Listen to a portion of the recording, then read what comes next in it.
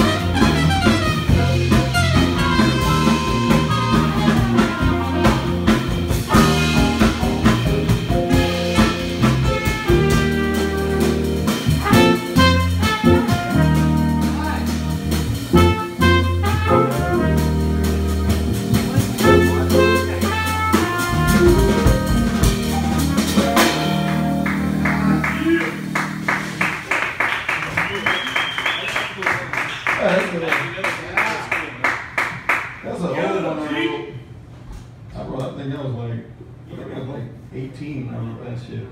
I, I did, man. I was trying to sound like Freddie Hubbard. I was like, what would Freddie Hubbard write? And so I wrote that. Makes sense. Yeah. So. Freddie write. I know Freddie.